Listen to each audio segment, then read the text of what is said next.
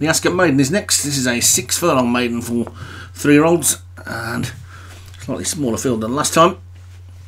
Let's get a look at them at the top. We've got Diablo for Rod McClure, Drogba, Michael Scarlett, Echoes of Winter for Satyam, Hackett Gaveston, CDJ Liggett, Jinan Spring, Vinnie Gerard, Pagani Zone, Zonda for Paul Rhodes, Premier Target, Jim Murray, Stone Skipper Obi-Wan, Debbie Matt Cooper, Good Points Craig Beckwith, Marking Mixer, Darren Thompson, Osmosis Alice Cherry, Peach Melba.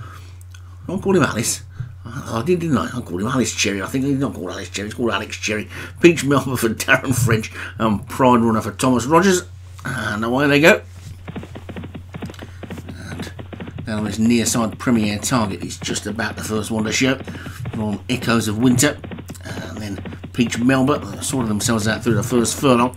Don't seem to be going that quickly. And Premier Target is being hard held down on this near rail with Echoes of Winter for company right over on the far side. Premier Target, then a bit of a gap to prime runner, and then a big gap then really to the rest of them. Are just about headed by good points. Uh, strange looking six furlong race. This one with Peach Melba up the centre of the track, probably about three quarters of a length, of a length in the lead from Echoes of Winter and Premier Target down on this near side. Then right over on the far side, Pride Runner, good points, and Drogba are trying to get into it. After that one comes Pagani Zonda, who's trying to get going as well. So's Diablo, but they're well strung out past the two furlong pole, and it's Peach Melba up the centre of the track who's still in the lead. Down on this near side, Premier Target's got the rail but Peach Melba's got the lead. It's Peach Melba still in front as they race to the final furlong. Peach Melba up the centre of the track from down on this near side Premier Target, and Premier Target's now beginning to assert up the centre of the track. Good points and Pride Runner are finishing well, but it's Premier Target who's in the lead. Here comes Good Points as they race up towards line. It's just Premier Target that holds on. Good Points second. Diablo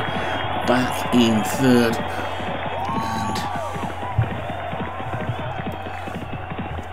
Winner for Jim Murray.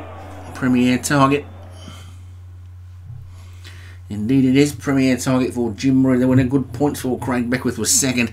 Diablo for Rod McClure was third. Pagani Zonda for Paul Rose fourth. And Jinan Spring for Vinnie Gerald was fifth.